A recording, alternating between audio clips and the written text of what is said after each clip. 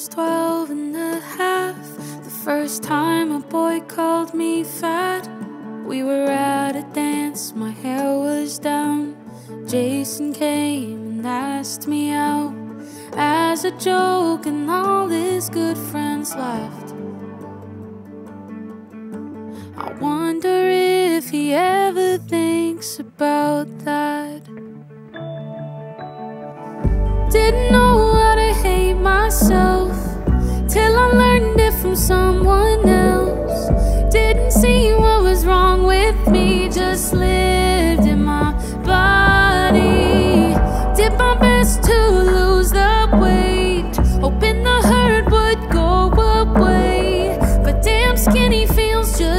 i always carry